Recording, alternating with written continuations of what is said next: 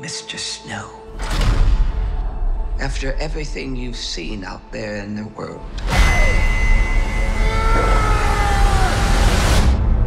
what are the Hunger Games for? Are you, are you coming to the tree? The Hunger Games, they're to punish the districts. Those tributes don't have a choice.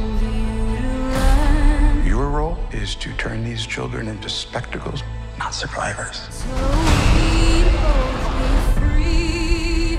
We're live! Smile. It's why we have teeth.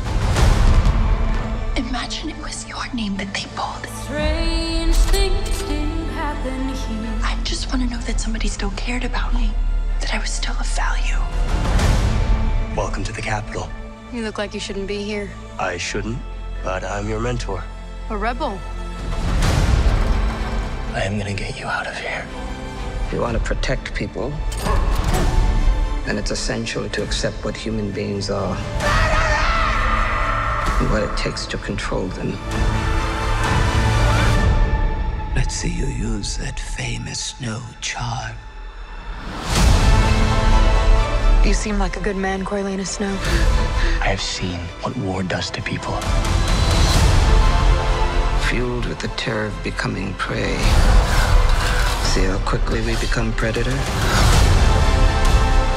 I want my enemies to see a rainbow of destruction engulfing the world.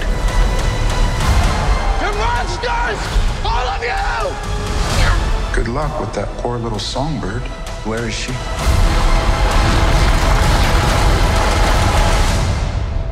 It's a mystery.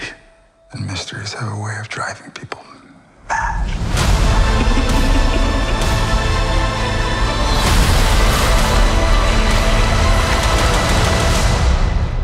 Mr. Snow, let me ask you one final time.